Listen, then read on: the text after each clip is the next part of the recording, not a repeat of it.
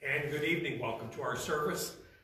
Please take your hymnal, turn to hymn 255 if you have that.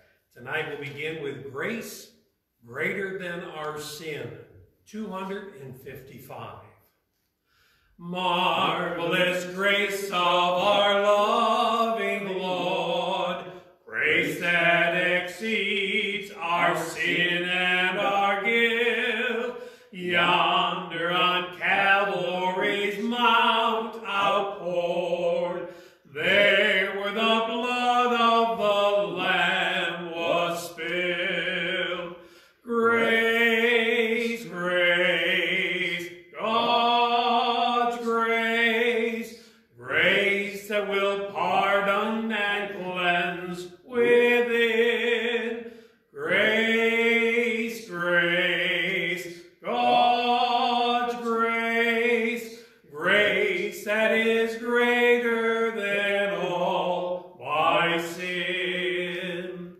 Sin and despair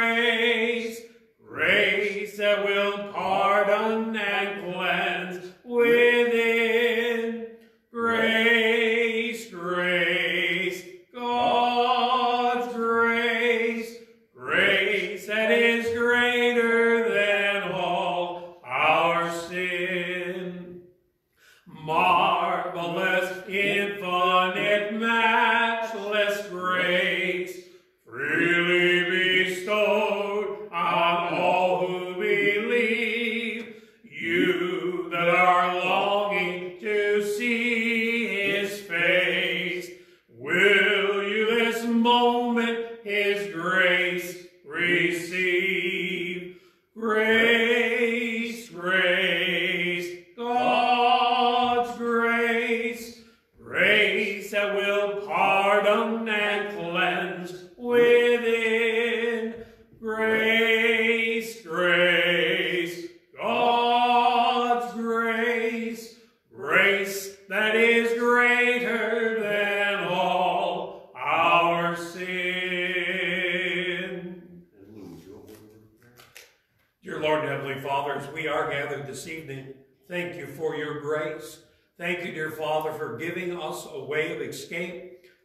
Which, dear Father, the Bible speaks of is hell. Totally never able to spend our eternity with Christ. Heavenly Father, as we gather this evening, may you continue to stir our hearts as we hear the truth of thy word.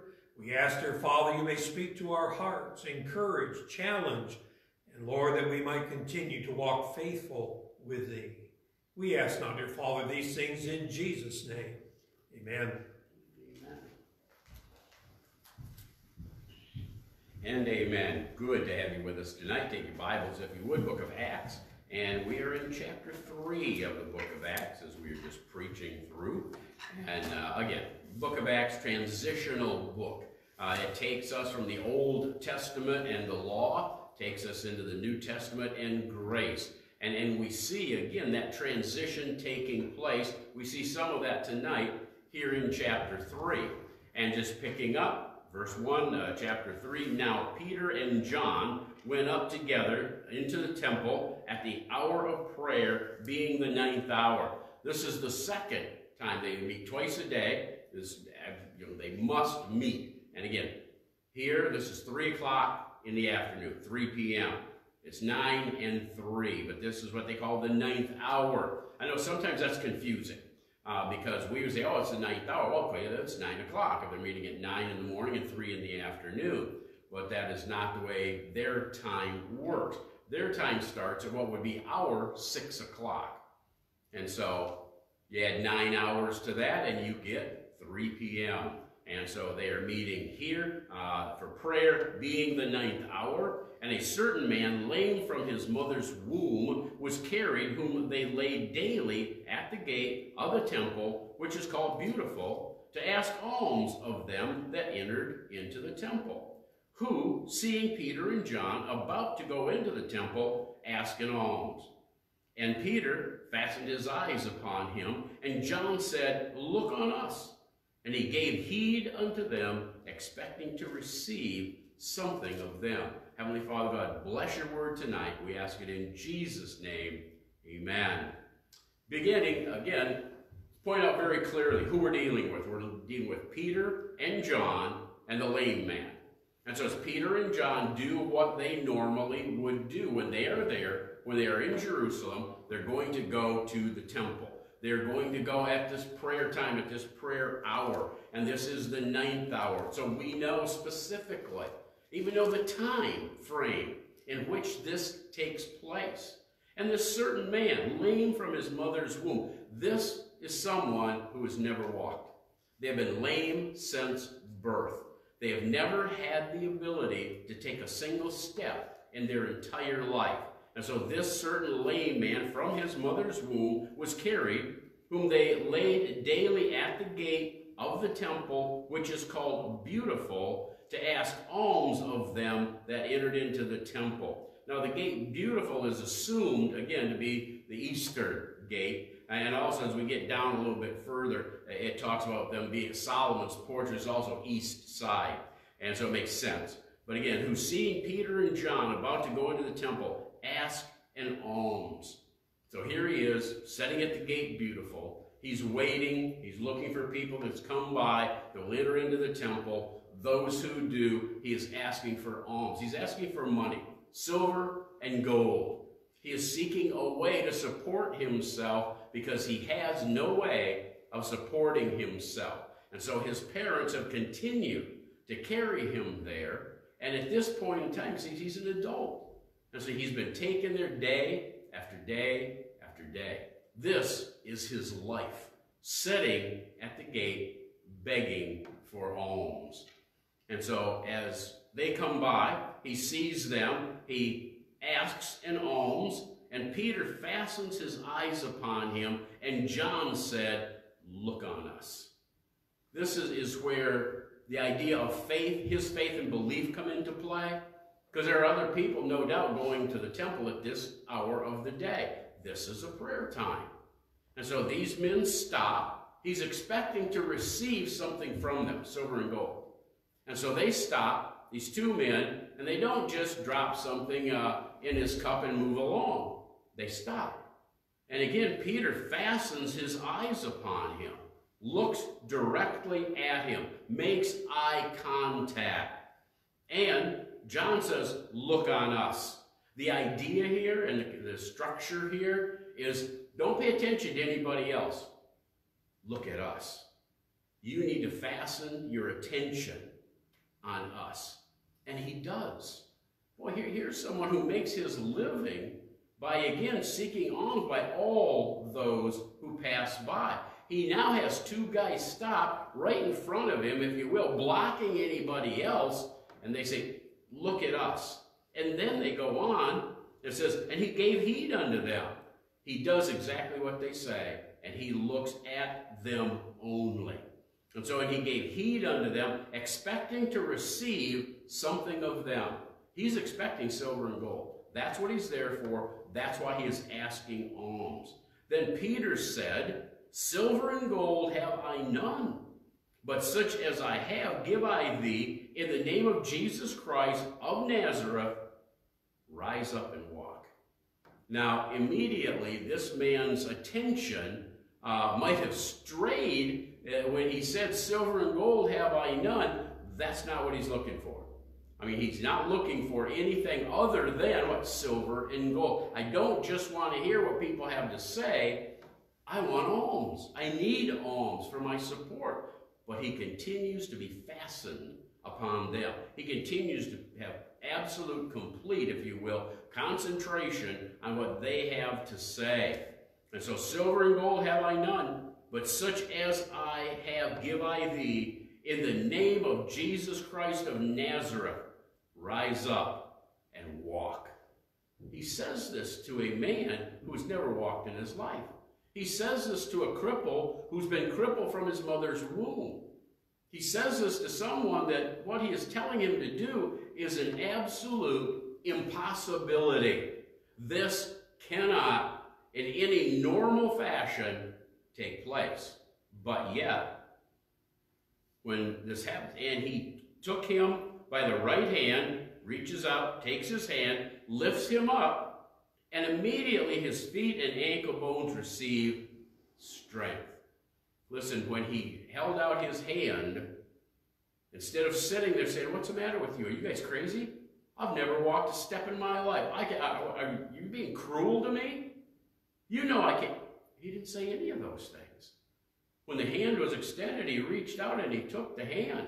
And immediately said he took him by the right hand, lifted him up. And that's this is this all been interesting to me. He reaches out, he takes his hand, he lifts him up, and only after he is lifted up, only after he has stood, it says, immediately his feet and ankle bones received strength. First, he took the hand, faith, belief. And then he was lifted up, which is absolute impossibility. And then after he has taken that, after he has taken that step, as we like to say, that step of faith, then strength enters in. The ankle bones received strength, and he leaped up, stood, walked, entered in with them to the temple, walking and leaping and praising God. I mean, can you imagine the sight? Number one, can you imagine this lame man? Suddenly, he's standing on his own. Not only standing, but he's walking, he's leaping, he, he, he's praising God. Have you ever been around anybody who's had a broken leg or a broken arm? And it's been in a cast for a period of time. They haven't been able to use it, as he has never been able to use his legs. Muscles atrophy. No strength, as here they refer to it as bones. No strength whatsoever. Have you ever been around somebody who's just been in a cast for a few weeks? And they remove that cast? Can you imagine say, okay, go if it was their leg, okay, go ahead and walk. Well, they fall on their face. They have to very, very slowly. They have to work through these things. Already, even just after a few weeks, the muscles have started to atrophy. They started to get smaller and they and they've started to lose strength. And the leg they've been using is still strong, where that leg that was broken and in a cast is weaker. Listen, they have to spend time, get that strength back before they can do these things. This lame man, and he leaped up, stood, walked, entered with them into the temple, walking and leaping and praising God. Number one, his excitement must have just been overwhelming. But then the reality of all those who were watching. They've seen him. He's been sitting at the gate beautiful pretty much his, his entire life, where they could take him, set him, and he could ask for alms when he was old enough to do that. That has been his life. Everybody who regularly goes to the temple knows this man. They have seen him day after day after day. And if you have seen anyone with legs, arms, atrophied, there's nothing there. The muscles are, are, are gone. I mean, he had no muscles to do this. But now God has healed him. Jesus Christ of Nazareth has healed him. The bones are now strong. The muscles are now strong. Not only can he walk, but he can leap. And with his mouth, he praises God for what has just happened. And all the people saw him walking and praising God. And they knew that it was he which sat for alms at the beautiful gate of the temple, and they were filled with wonder and amazement at that which had happened unto them. Boy, they now say, boy, that, that which has happened, what? Unto him. But what, what is happening? How did this happen? Where did this come from? How could he stand? How could he walk? How could he leap? We know that that was impossible. We know that that could have never happened. We have watched him for years. What happened? How could this happen? How could this take place? It could take place by our Lord and Savior Jesus Christ. And so again, they knew that it was He. They recognized Him. There was absolutely no doubt in their minds at all. Verse 11, And as the lame man which was healed by Peter and John, all the people ran together unto them in the porch that is called Solomon's, greatly wondering. Okay, so where does this now bring them? Listen, this now brings them to Peter and John. It was Peter John walk up. They talk to this young man, said, Silver and gold have we none, but what we do have, we give unto thee. Rise and walk. Wow. What, what, just happened? And as they watch this man now healed, they want to, how did this happen? When did it happen? Who did this? And they are pointed then what to Peter and John. All the people ran together unto them in the porch that is called Solomon's, greatly wondering. This was part of Solomon's temple that still was there.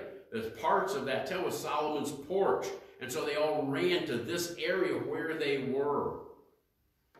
And when Peter saw it, he answered unto the people. And, and just, just quickly, I was going to mention this in the beginning. This is a purely Jewish crowd. Now, we've moved. Jesus has been crucified, dead, risen again, and also ascended up into heaven. We're past that, but still this is transitional. And as we're transitioning from the Old Testament to the New Testament, from pre-crucifixion to post-crucifixion, and all of these things are now happening. This is purely Jewish. They are doing this in the sight of the Jews at the temple. And of course, this is very important because the gospel was to go to the Jew first then the Gentile. And so right now, these things are happening at the temple. This is happening very, very shortly after Pentecost. Very shortly after they receive the Holy Spirit of God within themselves. All believers receiving the indwelling Holy Spirit. And so Peter here saw it. He answered unto the people, Ye men of Israel, why marvel ye at this? Or why look ye so earnestly on us, as though by our own power or holiness we had made this man to walk? When something, some marvelous, miraculous thing happened, they wanted to do what? They wanted to ascribe that to the people who did it. And they said, it wasn't of us. We didn't do this thing. You're looking upon us as though we healed him somehow. We did not. He goes on, the God of Abraham, right back to the Jew, the God of Abraham and of Isaac and of Jacob, the God of our fathers, hath glorified his son Jesus, whom he delivered up and denied him in the presence of Pilate when he was determined to let him go. Boy, he points out, I said, wait a minute, the power to heal this man did not come from us. The power to heal this man, and he goes right back to Abraham, Isaac, Jacob, the God of our fathers, he says, hath glorified his son, Jesus Christ. Well, how did this happen? Where did the power come from? How, how, did, how did this man leap and walk? By the power given to them through the Son of God. Through he who again is the Messiah of Israel. Through he who is the Savior of the world. That is where this power, that is where this might has come from. And it goes on in verse 14. But ye denied the Holy One, speaking of Jesus, ye denied the Holy One and the just, he who did nothing wrong. He went about, remember the Bible says Jesus went about doing good. He was a just man, a sinless man. And you denied the Holy One and the just, and desired a murderer to be granted unto you. You would rather Barabbas, a murderer, be released unto you instead of one who was holy and just before God. Well, I want to tell you what, this, this is, he is clear, he is in their face, if you will, and he is telling the truth. This is what you, Israel, have done. But ye denied the Holy One and the just, and desired a murderer to be granted unto you, and killed the Prince of Life, whom God hath raised from the dead, whereof we are witnesses. We've seen it. We were there. We know him. We know who he was. We know all his miracles. We know everything that he accomplished while he walked this earth. You killed the prince of what? The prince of life. Jesus Christ is the prince of eternal life. He is the one to whom one must go through to be saved for time and eternity. And of course, the, the question so often has come up over the years, well, what about those before Jesus Christ? What about those before the cross? Were none of them saved? Of course they were. They were saved by faith in the plan of God. And God's ultimate plan included Jesus Christ on the cross at Calvary as our sacrifice for sin, our payment, our the taking care of our sin debt, and the allowing us to receive him as our personal Lord and Savior and have eternal life through his name. Amazing thing, again, that God did, that God accomplished through his Son, the Prince of Life, the one who brought eternal life, whom God hath raised from the dead. Listen, there's, there's never a question. He was dead. Never a question.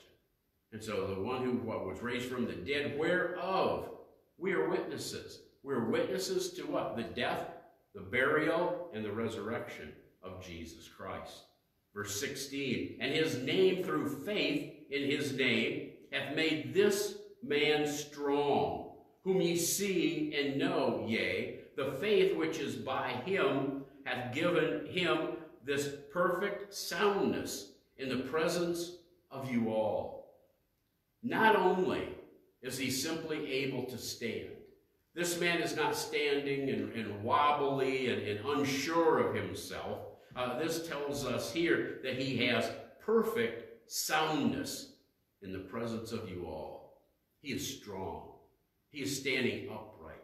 He not only can walk, he can leap. He can praise God. He can do things he, he never would have imagined prior, again, to the reception of the gift that was offered him by Peter and John.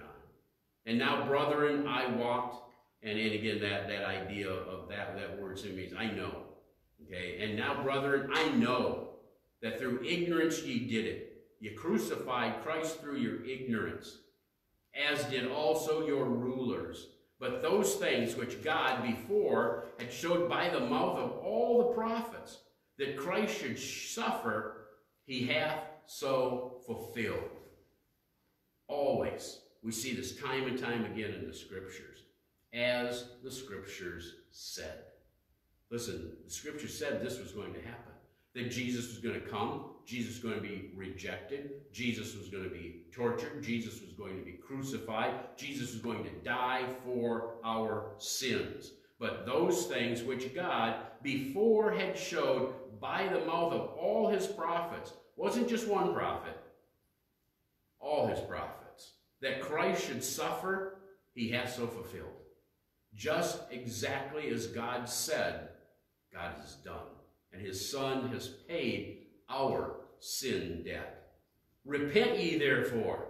Boy, he, he immediately, he lays out the truth of Jesus Christ, the sacrifice that he made for sins, using, again, the miracle of giving this man, this lame man, the ability to walk and to leap and to praise God. And he immediately goes to repent ye therefore, be converted, that your sins may be blotted out, when the times of refreshing shall come from the presence of the Lord. Boy, listen, there's going to come a time when all the problems of this world, when everything that God has played, God's going to take care of sin. He's going to take care of the problems, if you will, of this world. There is going to be a time of refreshing shall come from the presence of the Lord. Listen, what side of this do you want to be on? I want to tell you what, I want to be on the side of the layman who believed when the hand was, was extended and he reached out and took that hand and was told to stand. He didn't tell him he couldn't do it. He stood. My friend, when by, by Christ Jesus and his sacrifice, salvation is handed out to us, we simply need to reach out and take hold and not doubt. Not come up with those reasons. You know I can't do this. You know the sin that's in my life. Or nobody understands the sin that's in my life. I can't be saved. No, Yes, you can. The hand's extended. All we need to do is reach out and take that hand of Jesus Christ and stand. Stand in Jesus Christ. Receive him as personal Lord and Savior. Do exactly what was said here. Repent ye. Change your mind. Repentance is a change of mind. I have been rejecting Jesus Christ. I've been claiming that, that it's all wise fables. I've making whatever excuses I might be able to make as an unbeliever. But now it's time to repent. It's time to change your mind. It's time to say, you know what? I believe what the Word of God says. I believe in Jesus Christ.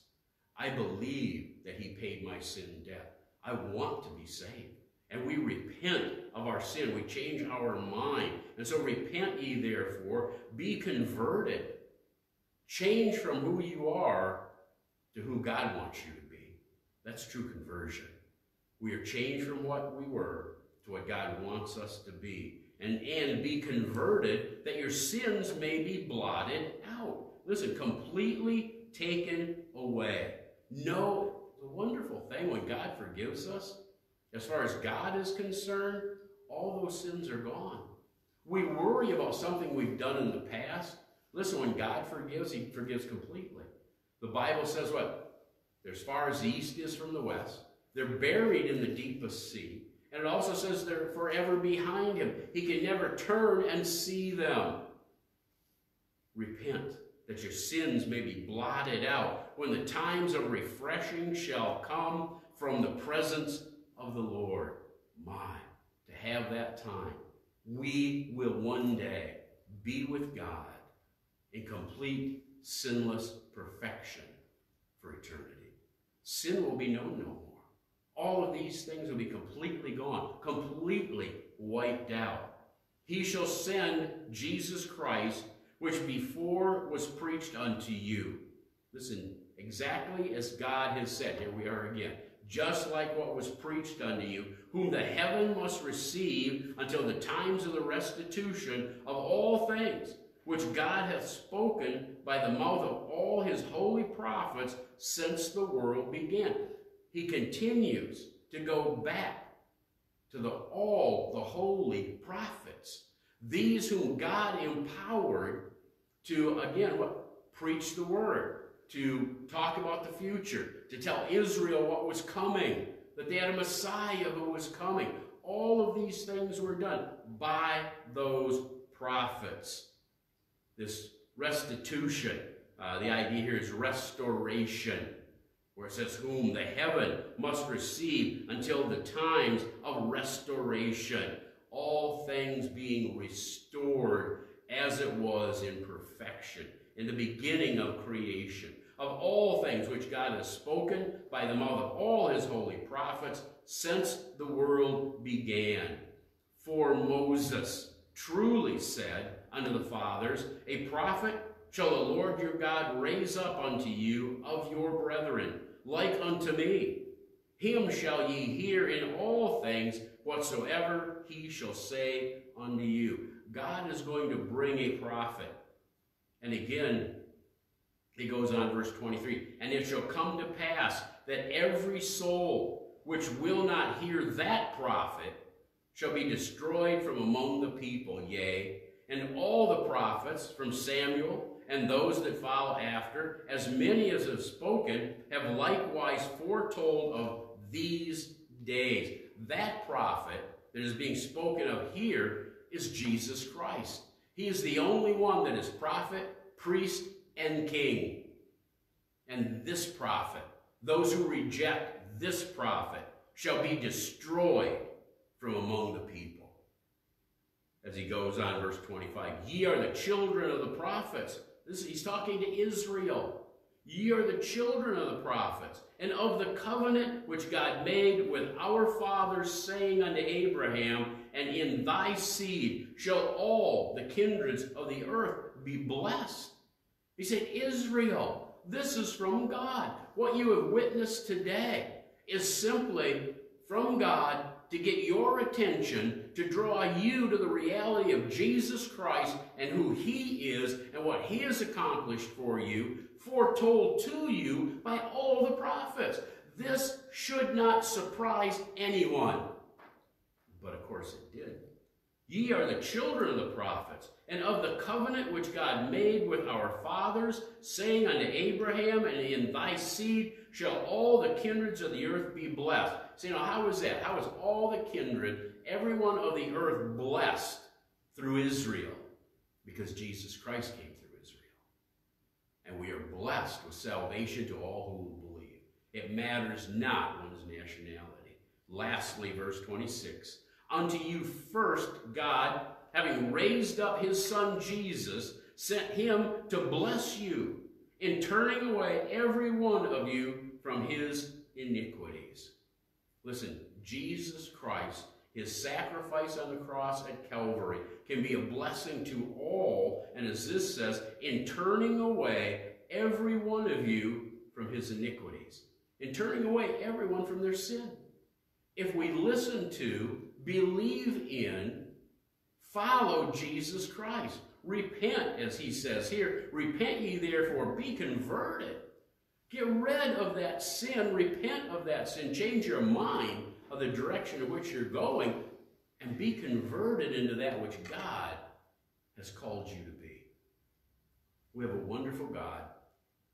God has given us a wonderful story.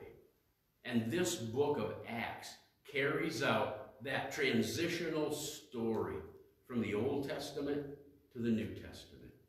And I, I always enjoy being in the book of Acts. And this chapter and the next and the next and the next is just a glorious outlaying of the truth, of the accomplishments of Jesus Christ through the power of God and the indwelling Holy Spirit working within men. Remember Pentecost? The coming of the Holy Spirit given to men. We have this wonderful, indwelling Holy Spirit of God in all who believe.